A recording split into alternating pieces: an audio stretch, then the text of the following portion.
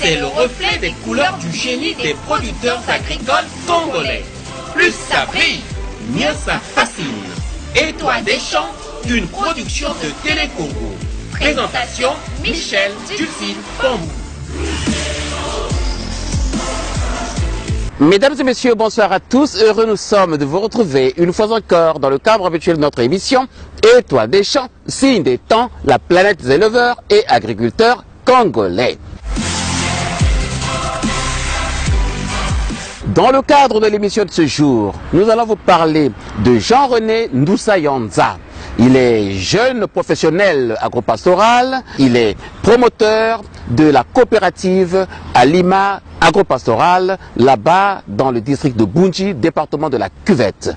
Nous l'avons rencontré et nous l'avons reçu en entretien. La chose qu'il ne faut pas manquer de la vie, c'est la communication. Il faut toujours avoir.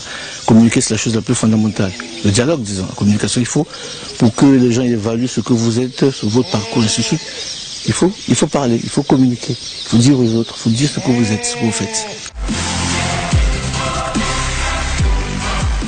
Parler de Jean-René Ndoussa Yanza au cours de cette émission, ben nous avons choisi de recevoir sur ce plateau Jean-Pierre Nakuntala, directeur du centre du métayage bovin. Dans l'exercice de ses fonctions, eh ben, Jean-Pierre connaît parfaitement Jean-René, car ils se sont déjà rencontrés et depuis, ils se côtoient régulièrement et quotidiennement. Dans le district de Bunji, et précisément dans le village Ambou, ce village qui est situé à près de 7 km d'Engana et pratiquement 10 km du village Okwese. J'ai eu l'occasion d'y arriver dans les années 2014 et parce que c'est un promoteur, notamment M. Jean-René Ndoussa Yanza, qui a bénéficié d'un crédit bétail le 30 janvier 2015.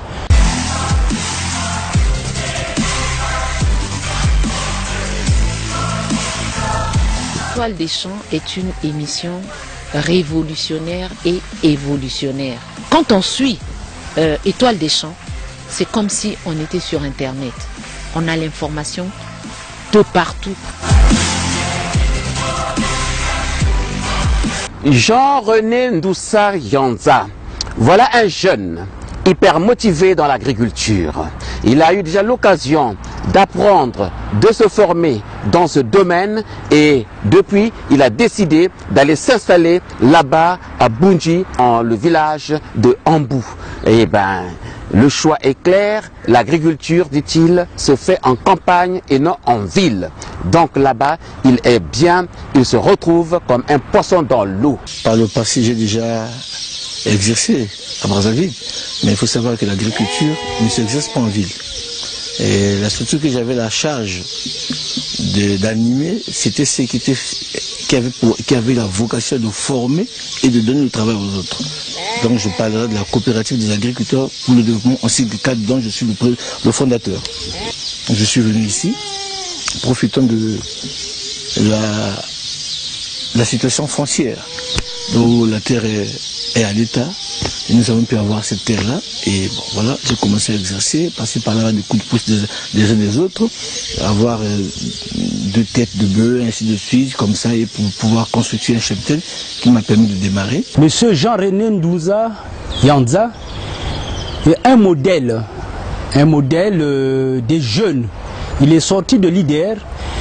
Après l'IDR, il a bénéficié d'une formation d'un stage pratique à Agri-Congo. Après Agri-Congo, il a décidé de façon consciente de s'installer dans son village natal, notamment Ambou. Ça montre bien le type de formation qu'il faut donner aux gens.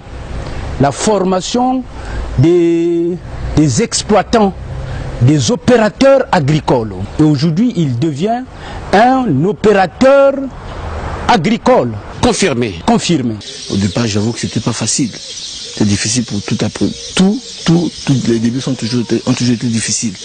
Et avec le temps, bon, ça a évolué jusqu'au jour où j'ai rencontré quelqu'un qui a accepté de m'accompagner, qui a accepté de le directeur de métayage, qui m'a mis les, les qui, euh, qui m'a donné les, les, bêtes à crédit, donc euh, un cheptel.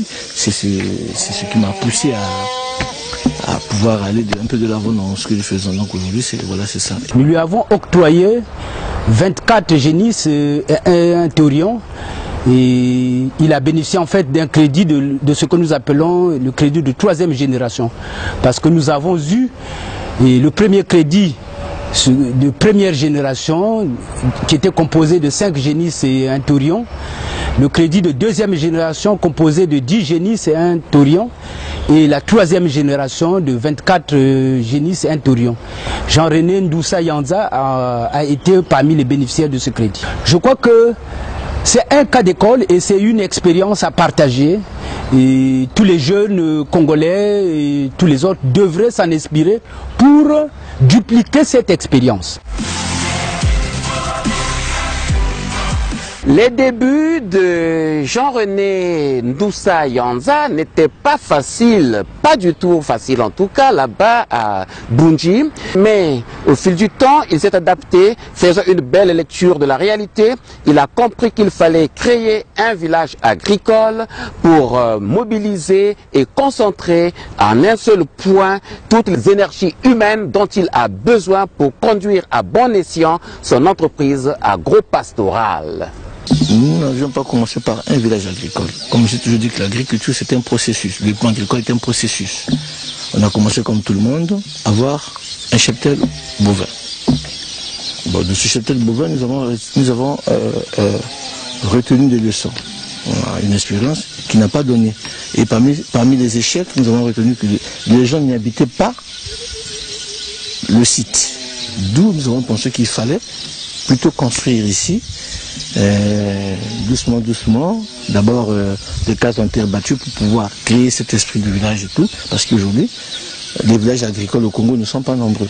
Nous avons voulu faire un village agricole, c'est vrai, c'est privé, parce que nous avons fait de l'agriculture notre activité au quotidien. J'ai eu le privilège et l'occasion de voir ce village naître, parce que au début c'était des petites cases, disons c'était des hangars en tôle. Et aujourd'hui, vous avez vu des maisons bâties. Il a créé un cadre de vie agréable pour les travailleurs. Parce que c'est ça aussi le facteur limitant du développement agricole dans notre pays. Parce que les jeunes ne peuvent pas s'engager à aller s'installer dans les villages parce qu'ils n'ont pas de courant, ils n'ont pas l'eau, ils n'ont pas tout le confort. Et donc, M. Jean-René Yanza a vu ces facteurs, parmi les facteurs limitants, il a commencé à créer un village agricole. Un ouvrier agricole qui part de, de 15 km pour ici. D'abord, le temps, on va perdre du temps, et l'énergie, la marche et tout. Donc tout ça ça ne donnait pas de l'avantage. De trajet. Donc tout ça, ça ne donnait pas d'avantage. Donc étant contenu sur place, je crois que dès 5 h du matin, chacun de nous sait qu'il y a un coup de cloche. On est debout comme les, soldats. Et les soldats de développement, bien sûr. On est là debout. Donc tout le monde avait la possibilité de donner le meilleur de Donc euh, c'est dans ce sens. Je crois que c'est le plus grand avantage. Non seulement que ça, ça, ça nous, ça nous scelle l'union et ça nous permet également aussi de bien gérer, de bien suivre nos activités parce que nous n'avions pas un programme. Aujourd'hui, on peut être ici, les bœufs peuvent casser une clôture.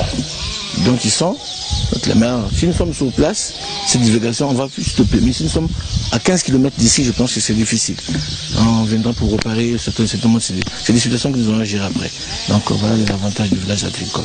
Aujourd'hui, tous les travailleurs ont le confort.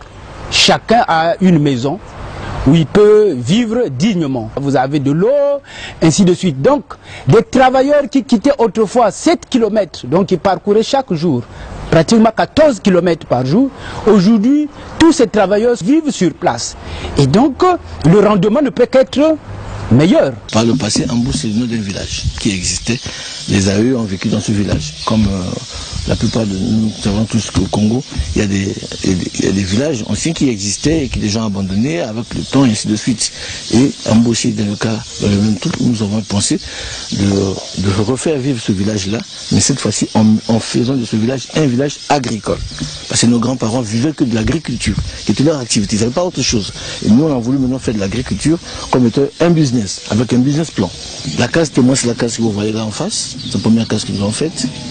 Parce que, étant citadin, je m'excuse, euh, on ne voulait pas être délocalisé de nos racines. Il fallait être ici avec un peu de modernisme pour ne pas que de temps en temps nous soyons capables, nous ne soyons pas, euh, pas toujours en train de vouloir euh, vite repartir à Brazzaville parce que les, conditions de vie ne tombent pas et ainsi de suite.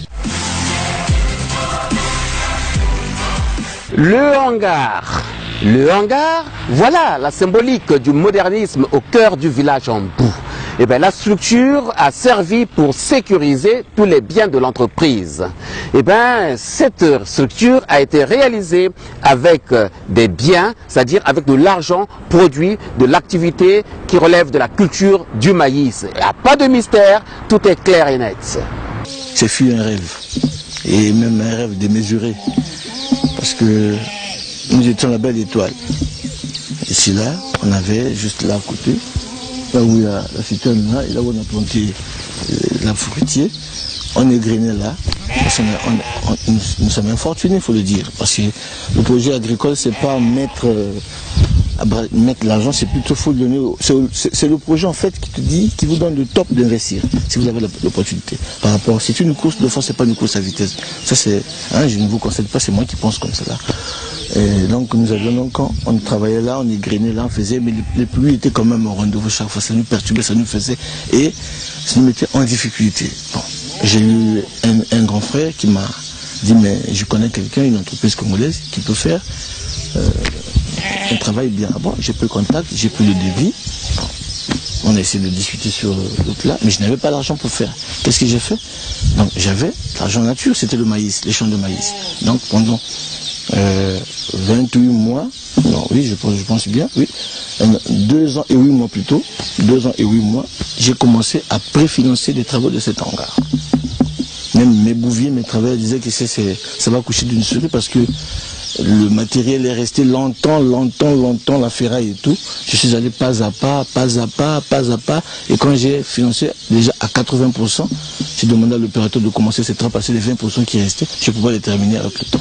Et c'est ce qui a été fait. Nous avons vu comment ce village s'est développé. Voyez un grand investissement comme cet hangar qui n'existait pas quand euh, nous y sommes arrivés pour la première fois. Aujourd'hui, vous voyez là le symbole d'un engagement. Parce que pour construire une telle infrastructure, il faut vraiment croire à l'agriculture. Vous voyez, vous avez un hangar où vous avez d'une part une pharmacie vétérinaire bien équipée avec tous les produits nécessaires et vous avez au milieu une sorte un peu de, garage pour la réparation des, machines et de l'autre côté vous avez un, une infrastructure de stockage des semences. Je crois que pour faire, euh, pour construire une telle infrastructure, il faut d'abord avoir une vision et il faut aussi croire.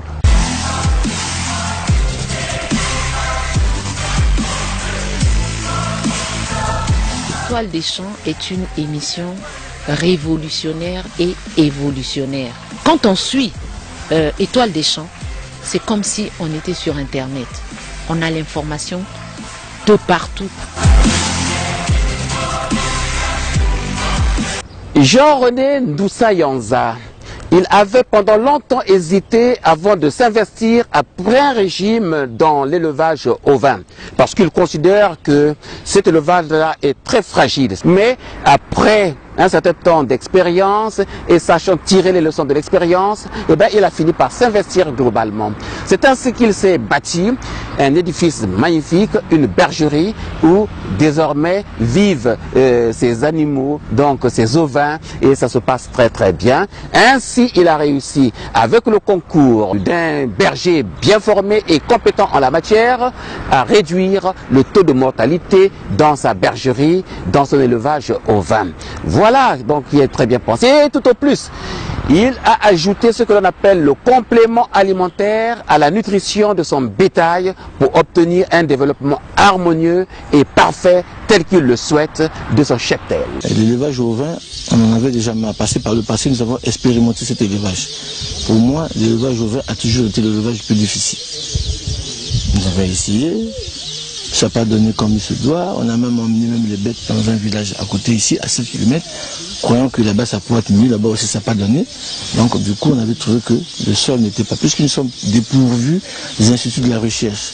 Donc il n'y a pas d'orientation, il n'y a pas d'indice pour dire à un opérateur pour, investir, il faut aller dans ce sens. Ça c'est ce qu'il faut pour le Congo. Ça viendra avec le temps. Prenez un peu patience. Donc j'ai eu M. Nakutala, qui est cadre de la maison, qui est venu ici, qui m'avait donné les bureaux BTH pour le brassage de sang qu'on appelle consanguinité techniquement consanguinité. Et il m'a dit mais pourquoi tu fais pas l'hémorragie J'en ai fait dit non, essaye quand même, on ne sait jamais, il faut essayer. J'ai essayé. Et avec beaucoup de. Comme il avait déjà dit, il m'a fait dire qu'il devrait avoir à la longue un projet sur le métillage au vin. Il faudrait que tu sois en avance, que tu sois, tu exerces déjà. J'ai accepté, j'ai commencé avec 10. Je suis arrivé dans cette exploitation, effectivement, c'était un élevage qui était conduit de façon très très artisanale. Il y avait beaucoup de mortalité. Et le jour que je suis arrivé, j'ai vite compris que l'élevage n'était pas conduit de façon rationnelle. Il y avait beaucoup de mortalité parce que l'hangar chauffait et il y avait beaucoup de gaz. Et je lui ai prodigué des conseils. Aujourd'hui, il a conçu un hangar, plutôt une bergerie, conforme aux normes zootechniques. Vous avez vu vraiment cette bergerie avec un couloir de traitement et surtout avec un berger formé. L'animal est un être vivant. Donc il faut légumineuses, il faut varier. Il faut aussi compléter. Herbivore, il est Oui, herbivore. hein. oui, il est herbivore. Il sera pas évidemment, évidemment, ce qu'il mange aussi, c'est de l'herbe. Il se forme concentré. C'est un complément alimentaire pour équilibrer. Pour équilibrer C'est quoi de l'aliment euh, complémentaire que vous donnez aux moutons Bon. euh, à votre élevage Oui, au départ, je- c'est le label maison, mais on est obligé de le dire, puisqu'on a la vocation, c'est d'aider les autres. On ne va pas mourir avec une connaissance. J'ai un concentré et je l'accompagne avec le sang de blé et un concentré qui, qui booste la reproduction. Et donc, euh, je respecte bien les, les pourcentages pour les ovins et pour les bovins. Voilà, M. Ndouza a compris qu'en dehors de l'herbe, parce que l'herbe ne contient pas tous les éléments nutritifs, il apporte quoi? Un complément alimentaire composé de, du sang de blé. Et c'est ce qui fait que ces animaux sont tout à fait différents de tout ce que vous pourrez voir dans le pays pour améliorer la croissance, sinon les performances de la race locale, notamment le Djalonké. Il a croisé les Djalonké avec euh, la race sahélienne, notamment ce qu'on appelle la race tchadienne. Et aujourd'hui, je peux vous dire que M. Jean-René, il a créé la race congolaise. 2015. En 2015, l'élevage existait, non? Il y, avait combien, il y avait combien d'animaux en 2015 Euh, le, à mou- peu près le mouton, Les moutons, oui. euh, en 2015, nous sommes, j'en avais, j'en avais, avais 10, 10, 15, 10, 10. Et nous sommes en fin 2017, vous en avez combien? Ben, euh, sans léger, j'en ai 105. 105. Ouais. Oui. L'avancée est considérable en un an d'intervalle. hein. J'ai 105, Un an, deux ans. oui. j'ai 105.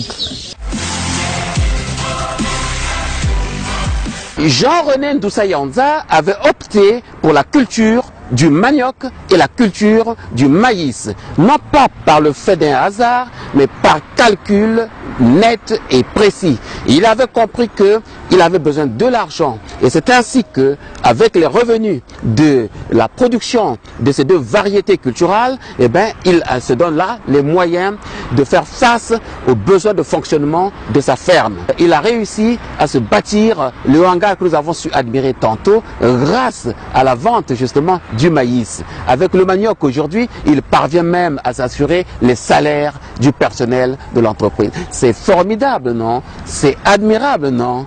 Bravo Jean-René Yanza Ndosa. Produire le manioc était pour moi un impératif, une obligation. Et donc je me suis dit, bon, je veux produire le manioc, parce que c'est notre aliment de base. C'est d'abord notre identité quand on fait, c'est notre banque.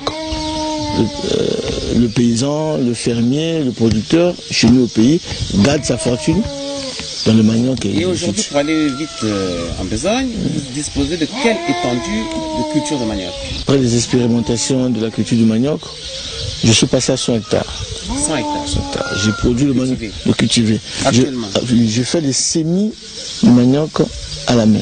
J'ai créé des groupements à vocation coopérative. Moi, je suis une coopérative, des groupements à vocation. Je prends un village. Dans ce village-là, il y a une église où il y a un groupe de personnes qui essaient de travailler pour moi, je leur paye. Ils exercent l'activité, ils font, ils plantent, ils plantent, ça coûte combien, je paye, ils vont partir. Et le reste, le cerclage, ils font le cerclage, je paye. Et à la fin, c'est fini. Je reste avec ma plantation, je la suis, je la suis jusqu'au jour le cycle, on arrive à la fin du cycle et on possède la récolte et ces gens-là, travaillant, ils vont, je vais encore solliciter notre, un autre groupement. Je suis même euh, parfois avec le, département de la cuvette ouest, je décide que eux, ils viennent travailler également chez moi ici. Et donc on récolte le, le manioc, nous faisons le, les cossettes de manioc que les Gabonais viennent acheter chez moi et le manioc couru que je vais livrer à Wando parce que c'est moi qui livre au port de Wando le manioc qui, va dans les, villages euh, riverains comme le Kakwa et ainsi de suite là, qui sont en manque de manioc par rapport à, aux superficies, à, la superficie, à Alors, au port fluvial de Wando, c'est un bon marché quand même Oui, pour moi, c'est un bon marché parce que je suis super exigeant. Je dis, je laisse le manioc, ils vont avec le manioc. Dix jours après, ou deux semaines après, je reviens faire les recouvrements. Donc nous on travaille sous forme de, un partenariat de gagnant-gagnant, une confiance. Et j'ai demandé c'était une garantie. Euh, donc c'est manioc oui, hein C'est manioc oui. Vous faites aussi le foufou Oui, on fait. Euh, si, si, les cossettes de manioc. Les de manioc Si, si, c'est beaucoup acheté par les Gabonais qui viennent ici acheter. Ils viennent ici Ils viennent ici. À Ambou À Ambou ici. Dans le district de. De Bunji. Oui, ils viennent ici. Monsieur Ndouza, aujourd'hui, a plus de 100 hectares. 100 hectares de manioc qui attendent d'être récoltés. Vous voyez ce n'est pas rien. Et il a mis en place une stratégie, il a un marché, c'est lui le grand fournisseur du manioc au niveau de Wando. Donc, la culture du manioc appuie la production bovine. L'élevage au vin appuie la production bovine. Les ovins, il y a une période, une occasion, c'est la tabaski. C'est la période la plus favorable pour vendre son produit. En somme, Jean-René Ndoussa Yanza et compagnie, c'est-à-dire ces bouviers expérimentés, ces bouviers compétents, sont en train de vivre là-bas à Ambou, village agricole, une expérience noble et bienheureuse. Voyez-vous, avec la culture du manioc, ils ont réussi à s'assurer le fonctionnement de la ferme, financer tout ce qu'il faut pour le, fonctionnement de la ferme. Et avec les recettes du maïs, ils ont réussi à sécuriser eh ben, tous les biens de l'entreprise. C'est pas donné à n'importe qui. Hein. Voilà donc Yanza, un homme positif, un homme optimiste et qui sait croire en lui, croire en son avenir, croire en son destin. Moi, je fais, je fais le maïs, je fais le maïs. Et cette saison. Oui, non, non, non, j'ai fait plus le résultat du maïs, c'est ton gars. J'ai préfinancé avec rien qu'avec les recettes du maïs. Quand on voit c'est une toiture métallique, on ne va pas faire les commentaires là-dessus. Ça coûtait quand même assez d'argent pour un paysan, pour un, producteur, un fermier, un privé plutôt, je voulais dire pour un, c'est pas une subvention, ce sont des recettes du maïs qui ont, préfinancé, qui ont financé euh, les travaux de cet hangar. Donc ça veut dire que j'ai produit tous ces sites-là, là où j'ai remplacé par le manioc, c'était des sites qui étaient valorisés par la culture du maïs. La culture du maïs, du manioc, nous aide à pouvoir prendre en charge, euh, sinon à 65%, je dis le manioc, à 65% de faire notre, activité. Donc les, émoluments sont payés par la culture du manioc. Ça, je peux confirmer cela. Et le maïs aussi parfois vient les bouviers qui travaillent ici ont un salaire mensuel Oui, je crois que je parlerai par leur place. Et malheureusement, ils sont allés pousser les bœufs.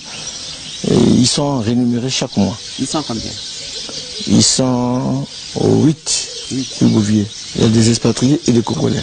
Monsieur Ndouza Jean René, son exploitation s'autofinance.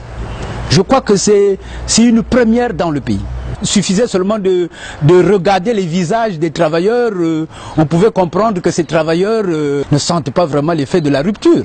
Oui, c'est des gens qui sont très gais, qui, qui sont dans la joie, malgré la conjoncture. En tout cas, ils ont leur salaire versé régulièrement.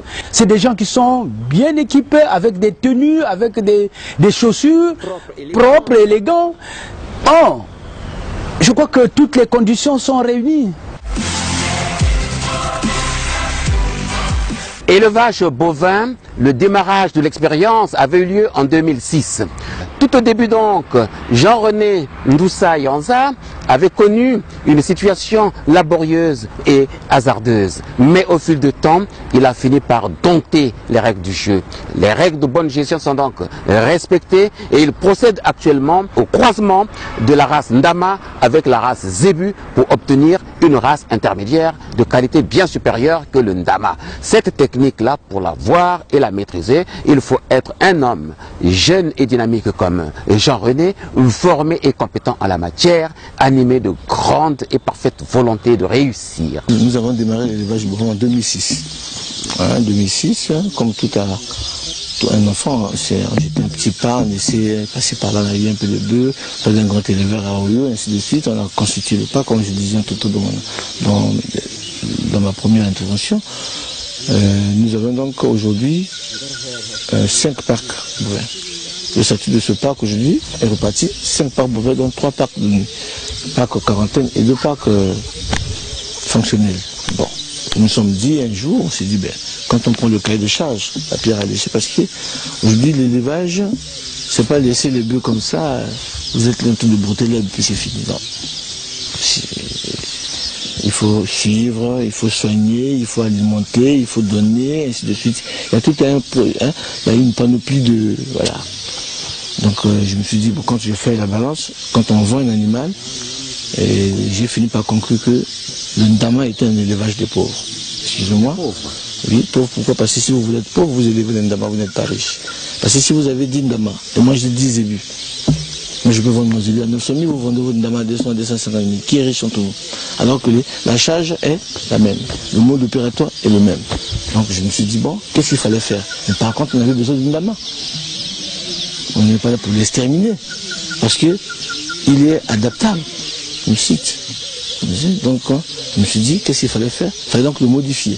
D'où l'idée de pouvoir croiser, modifier le nama. Donc, j'ai réussi à faire des F1 qui ont donné, et on va voir dans le parc, et jusqu'à observer les femelles comme les mâles qui ont donné, ainsi de suite, on est arrivé jusqu'à F2. Aujourd'hui, je crois que je n'ai plus un débat, je n'ai plus un doute, ils sont là, la race croisée. Et quand on prend, on fait la balance entre la race Ambo que j'appelle ici, les croisés, de 2 ans, et on prend un dama de, de 5 ou 4 ans, je crois qu'il n'y a pas match, pas comparaison, c'est zéro. Donc c'est la meilleure. De toute façon, le métissage a toujours été la bonne chose.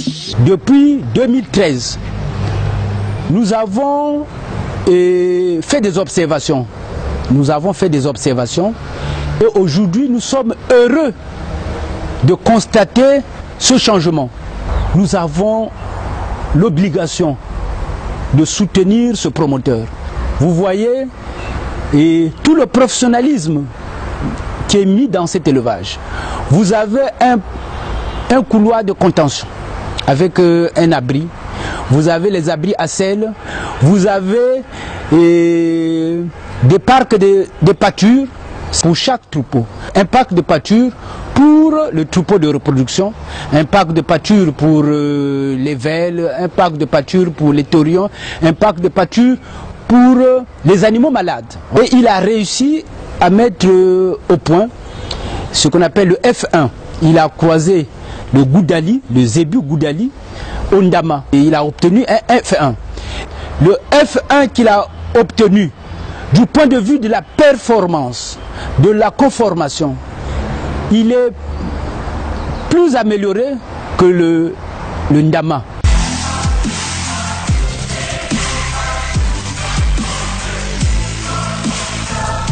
Étoile des champs est une émission révolutionnaire et évolutionnaire. Quand on suit euh, Étoile des champs, c'est comme si on était sur Internet. On a l'information de partout. Voici donc venu le moment pour Jean-René Ndoussa Yanza de prodiguer quelques conseils à ses concitoyens. Eh bien, il leur conseille donc de procéder au croisement s'ils veulent vraiment entreprendre dans le domaine de l'élevage bovin. L'Endama, cette race ratatinée et rabougrie, n'est pas un exemple d'un élevage commercial type. Ouais, eh ben pour euh, euh, réviser les choses, pour normaliser les choses, il faut procéder par de croisements avec la race zébu, ce géant animal admirable par sa robe, admirable par sa chair. À l'époque, vous voyez, nos grands-parents avaient des fermes. Ils avaient tous des ndamas. Mais je crois que parmi les ndamas, il y avait une bonne sélection de ndamas en RDC. Je que c'est un Belge qui a fait cette sélection-là. Des ndamas qui étaient quand même costauds. Ceux-là, ils se retrouvaient. À un moment donné, euh, les ndamas de nos jours, ce sont des trucs ratatinés et tout. Donc si nous partons avec ce genre de ce genre c'est difficile que nous rentabilisions notre notre exploitation. Et à la fin, bon, on ne pourra pas faire. C'est le business, il faut gagner. Donc euh, je, je lance un appel à tous, à tous nos amis qui veulent euh, améliorer leur euh, qualité de, de leur ferme, de leur activité, ren- rendre plus, plus efficace en termes de rente leur activité, d'aller vite vers le croisement, de croiser. On va avoir des races hybrides. Et de toute façon, le métissage a toujours été la, bienvenue.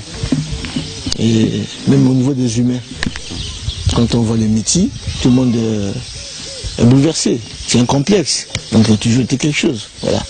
On ne peut pas développer l'agriculture dans notre pays lorsque nous n'avons pas un système de recherche agronomique bien assise.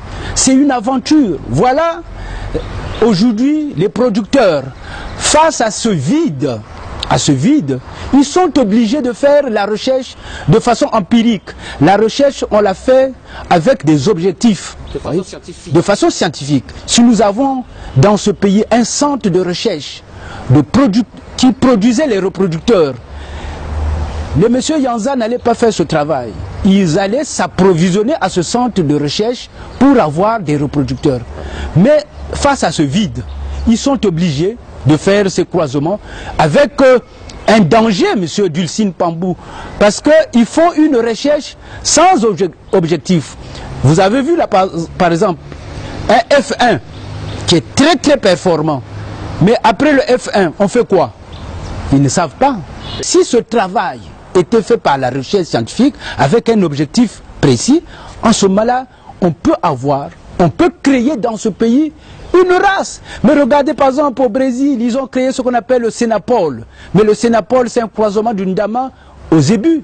Vous voyez, aujourd'hui qui devient une race brésilienne hein, qui te pèse 1000 tonnes. Donc nous aussi, nous sommes capables de créer une race congolaise. Dans la conduite de son élevage euh, bovin, eh ben, Jean-René Ndoussa Yanza s'est veillé à son cheptel. Il s'est veillé au développement de son cheptel. C'est ainsi qu'il a toujours pris au sérieux la question de la consanguinité. Et ben, pour obtenir un sang neuf à introduire dans sa ferme, dans son élevage, eh ben, il s'était fait éleveur métayer. L'étant devenu, il a réussi à se comporter de façon positive et optimiste comme nous l'avons dit tantôt. Le succès n'étonne personne. Ben, le cheptel a grandi de 600 animaux qu'il, dont il disposait en 2015. Deux ans après, il est passé à près de 1500 euh, bovins. C'est la vérité vraie. Ça peut se compter un par un, cinq par cinq, dix par dix, 100%. Eh ben, la chose est claire et nette. J'avais formulé ma demande en tant que exploitant agricole, fermier, et ma motivation était que j'avais besoin de bêtes pour résoudre le problème de consanguinité. Et je n'avais pas besoin de bêtes parce que j'en avais déjà. Pas trop, mais j'en avais déjà. Et le ministère, le bien de la direction de l'outillage, a répondu favorablement, m'a livré un cheptel de 25 têtes. Et je suis là, et ça se passe très bien. Voilà. Et dans le contrat serait respecté. Puisque c'est un contrat qu'on avait signé. Lorsque nous avons vu les installations de M. Jean-René 12 ans et l'expérience qu'il avait, parce qu'il avait déjà près de 600 têtes, et nous avons vu aussi la question de la consanguinité. C'est pour cette raison que nous avons décidé de lui octroyer ce crédit à double titre. D'une part, et être dans le lot de la génération, disons de la troisième génération, c'est-à-dire des gens qui ont l'expérience, donc qui nous offrent des garanties de remboursement. Deuxième facteur, c'est que nous voulons résoudre le problème de consanguinité dans cet élevage pour changer de sang. Aujourd'hui, les animaux qui sont en train de se développer là-bas, il y a un changement remarquable. Des prestations de ce jeune promoteur agropastoral, eh bien, on n'hésite pas de chercher à le rencontrer, de chercher à vivre son expérience pour partager ses peines, ses labeurs et sa servitude. C'est ainsi que le ministre d'État, ministre de l'Agriculture, de l'Élevage et de la Pêche, Henri Djombo, entreprenant sa tournée dans les départements nord du pays, notamment dans le département de la Cuvette, de la Cuvette ouest et des plateaux, n'a pas manqué de se rendre là-bas à Bunchi, là-bas à Ambou, village agricole, pour visiter monsieur Jean-René Ndoussa Yanza. Eh bien, profitons donc de cette opportunité. Eh bien, euh, Jean-René Ndoussa Yanza n'a pas hésité d'offrir à son hôte un torion de très bonne facture. Ce geste-là, cet acte est raisonnable et il est à encourager. C'est un bel exemple de partage et de considération de l'autre. Cette visite du ministre d'État restera gravée dans les annales de notre histoire du village. Je crois qu'en tant que c'est la première fois que je reçois le ministre de l'Agriculture ici, dans ce village. C'est bien que les mots de bienvenue, j'avais exprimé cela au ministre, qu'il a bravé l'état de la route pour venir ici. C'était pour nous un grand plaisir et nous remercions le ministre. Et cela a causé pour nous un fond d'encouragement. Donc quand nous avons été, nous sommes dit, bon, ben, écoutez, puisque le patron est venu nous voir, il a fait ça, nous ne devons pas baisser les bras, donner le meilleur de nous-mêmes. Donc, euh, nous, on ne prend peut-être pas l'engagement, que pas l'engagement de ne pas le décevoir, mais on va faire de toutes les sortes, de toutes les sortes que notre village soit toujours, notre activité soit toujours euh, euh, rayonnante. quoi. Donc, il n'est pas venu inspecter, il est venu travailler, voir. Donc cette visite-là, de la visite du ministre, va naître certaines choses. Donc c'est ça qui c'est ça qui me fait, qui me motive Davantage. euh. Le ministre d'État est passé, et indépendamment de sa volonté, et, euh, de nuit. Il était très tard. Il avait dit même à minuit, il devait visiter cet élevage. C'était déjà encourageant pour moi, qui suis l'animateur principal de- du métiage bovin. C'était vraiment un signe d'encouragement. C'est la première fois que le ministre d'État a visité les métayers. Il n'a pas eu l'occasion de voir euh, tous les troupeaux, mais ça lui a permis au moins de voir le travail que nous sommes en train de faire sur le terrain. Nous sommes une banque. Nous faisons du crédit. Nous ne pouvons pas donner le crédit à un partenaire qui ne nous présente pas des, des garanties de remboursement Qui va faire la faillite dès la première année fait la faillite dès la première année, vous voyez Ou quelqu'un qui commence son élevage avec nos animaux, vous voyez qui ne connaît pas que les animaux, il faut les soigner, il faut les nourrir. Vous avez vu, monsieur Ndoussa apporte quoi? L'aliment complémentaire. Dans le cadre du métiage bovin, je peux vous rassurer, toutes les autorités politiques, administratives et militaires qui ont bénéficié des crédits bétail, certains ont déjà remboursé la totalité. C'est une satisfaction. D'autres, parce que le temps de récupération n'est pas encore arrivé, À partir de l'année prochaine, commence à rembourser. conformément au délai préétabli. Comment au délai prescrit. C'est des Congolais comme tout le monde. Je ne vois pas pourquoi on ne pourrait pas octroyer un crédit à un ministre, à un général, parce qu'il est général. Mais alors qu'il remplit les conditions. Le grand problème ici, c'est le suivi. Nous, nous avons mis en place une stratégie de suivi. Nous passons dans ces élevages tous les 45 jours. Et donc, les gens remboursent. Les gens remboursent sans problème. Les gens remboursent sans problème. Ouais. Qu'il soit ministre, qu'il soit général. Quand vous lui avez donné son, le crédit et qu'il a remboursé, où est le mal? En cadeau de la visite, un bœuf à monsieur le ministre d'État. C'était très courtisan ça. Ou le, ou le petit pour offrir un grand frère. Donc je crois qu'il faut avoir la culture de partager. C'est dans ce sens-là. Pour moi, c'était pour moi une manière de dire que je suis très heureux que vous soyez venu chez moi, malgré l'état de la route. C'est trop pour le courtiser, Non, c'est trop pour le flatter. non, non, non, non, loin de là. Pour dire, ah, monsieur le ministre, vous avez été chez moi, moi je vous ai donné mon bœuf, maintenant c'est dans quatre Non, matins, vous non, ne non. faites rien pour Non, moi. non, non. Et Peut-être que Non, non, non. souvent vous demander de non, me non, non, rembourser mon non, argent. non, non, au contraire, je n'ai pas offert au ministre une bête ordinaire. C'est une bête qui a constitué le, le débat sur les croisés. C'est l'espèce croisée, l'espèce en mot, qui lui, il est le patron du département. Je lui offre va voir ce que, je dis, ce que nous avions fabriqué. Voilà, expérience chez nous. C'est ça qui t'a qui te ministre d'apprécier. Le promoteur a voulu montrer le travail qu'il est en train de mener, le résultat de la recherche qu'il est en train de faire, le croisement entre les zébus et les ndama.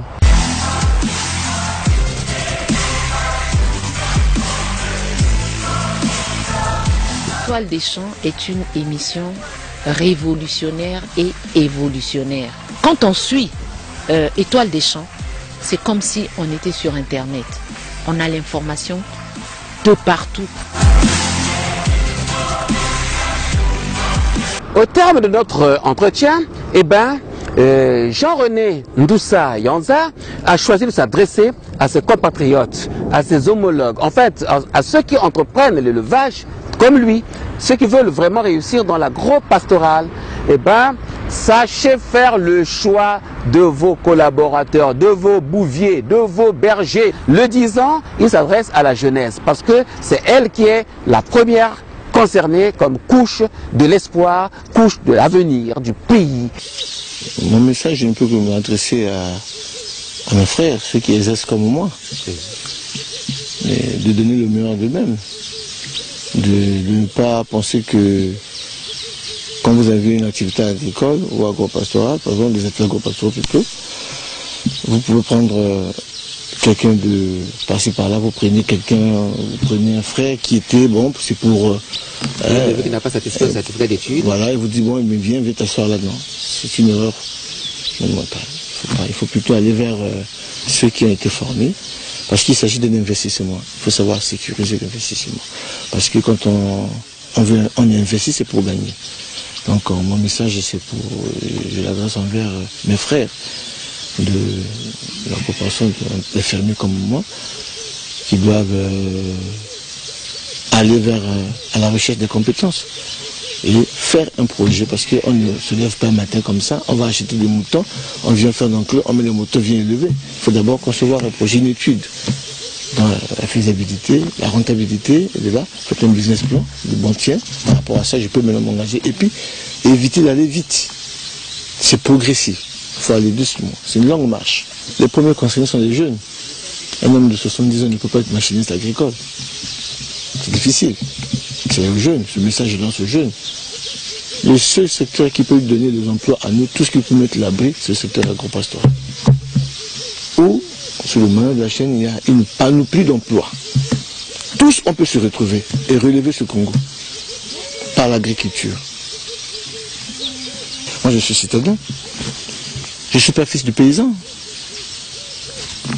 Mais je suis bien, j'ai accepté de venir parce que l'activité nécessite que nous soyons en campagne. Ben, c'est pas en ville, c'est pas dans les, euh, les ascenseurs que je dois ensemencer. Non, c'est ici. Et voilà. la brousse. À la brousse, je viens, perdu, quoi perdu. Et aujourd'hui, je crois que c'est une cité, enfin pas une cité, un village aujourd'hui que, je- sans complexe. Voilà donc, euh, mesdames et messieurs, Étoile des champs, signe des temps, la planète des éleveurs et agriculteurs congolais. Tout est pratiquement arrivé au terme. Merci donc d'avoir été des nôtres et nous des vôtres trois quarts d'heure durant. Mais seulement au bénéfice des téléspectateurs, nous aimerions dire que prochain invité, Mahamat Abdel Karim, il est euh, promoteur de l'association des importateurs et éleveurs bovins au Congo. Il nous parlera de son abattoir. Il propose aux Congolais de se rendre à l'abattoir là-bas pour avoir la viande de, euh, de bœuf de qualité, euh, la viande de bœuf saine, la viande de bœuf biologique, parce que n'ayant pas été traversés par des produits chimiques ni par des euh, lasers comme qui dirait. Merci donc pour votre aimable attention. À la très prochaine occasion. Ciao